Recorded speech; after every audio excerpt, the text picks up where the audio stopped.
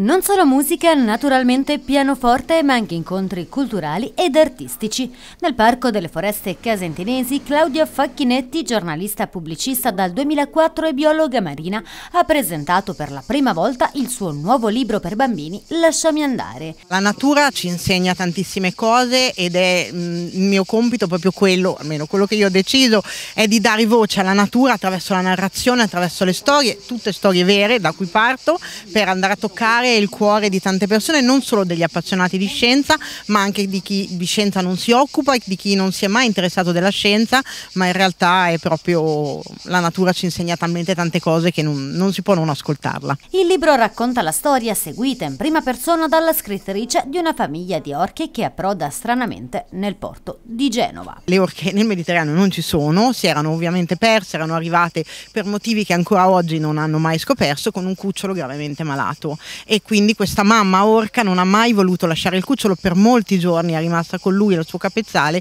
anche quando non c'era più speranze, finché appunto ha dovuto lasciare andare, attraversare la tempesta e andare avanti. Quest'anno il festival ha poi ospitato per la prima volta la residenza di arte contemporanea Tracce nel Vento. Gli artisti invitati hanno realizzato vessilli pittorici negli spazi di Prato Vecchio, le opere poi sono state esposte all'ex Lanificio Berti e la pittrice Alessandra Chiappini infine ha donato il suo stendardo all'azienda Estra, sponsor del festival. È un'opera che si colloca nell'ambito del paesaggio, come faccio da, da, diversi anni, insomma è il mio tema. È un paesaggio che di solito si concentra sull'idea